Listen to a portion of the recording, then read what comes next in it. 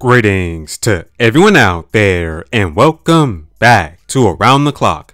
Alright everybody, over the past couple of years, Nintendo has been making some big changes when it comes to their management structure and this news update is no different. It's official, Nintendo has appointed a brand new CEO and president of Nintendo of Europe. The man that you see on your screens here, Luciano Perena, is the brand new president of Nintendo of Europe, and he'll be taking over the place of Stephan Bole, the former president of Nintendo of Europe. And here are all the details thanks to MyNintendoNews.com.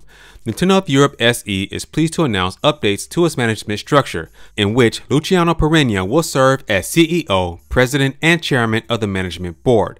This change comes as the company says a fond farewell to Mr. Stephan Bole, who has decided to leave the company and call an end to his full-time professional career after more than 35 years with Nintendo, including the past six years as president of Nintendo of Europe. As of the 1st of September 2024, Nintendo of Europe's restructured leadership team includes Luciano Perena, Chief Executive Officer, President, and Chairman of the Management Board.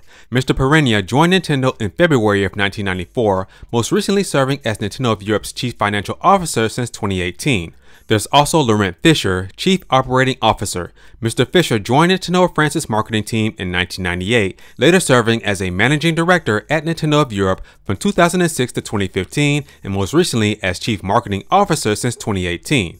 We also have Tom Inoki, Senior Managing Director, Corporate Planning Office. Mr. Inoki joined the senior management team of Nintendo of Europe in 2022. Furthermore, Frank Rittenhouse has been appointed to lead Nintendo of Europe's marketing, communications, and direct-to-consumer business. Frederick McCall succeeds Mr. Rittenhouse in his former position as General Manager of Nintendo Benelux. On behalf of the entire company, I extend my sincere thanks to Stephan Bole for his outstanding leadership for many years dedicated to Nintendo, said new Nintendo of Europe President Luciano Perena. I am honored to continue Nintendo's purpose of putting smiles on faces, and I am confident that this leadership group and united European team will allow us to build on our company's legacy of delivering unique experiences.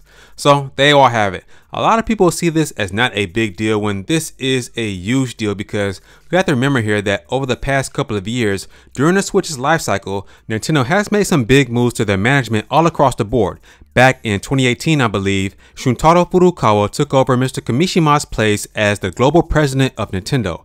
Also, back in 2019, Doug Bowser took the place of Reggie Fils-Aimé as Nintendo of America's president. And now, fast forward to 2024, we have Luciano Perena taking the place of Stephan Bole as Nintendo of Europe's president. And the last time I checked, I believe that now Nintendo of Europe's regions are now under one umbrella. So that is a large region to be president of. And let's think about this. Nintendo of America and Nintendo of Europe now have new presidents. Plus, we have a brand new global president of Nintendo all before we go into the Switch 2 era. So yeah, man, this is definitely a huge deal and I wish Mr. Perena and his team all the success that they get. So yeah, man, I'm excited for this. I know a lot of people that watch my videos are from the European region. So hey, man, you all have a brand new president.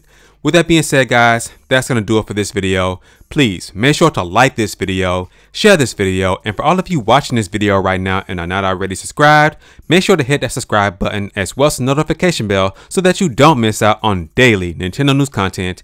And as always, remember to keep it locked here at around the clock. Right here, we focus on Nintendo news content around the clock. I'll catch you guys in the next video.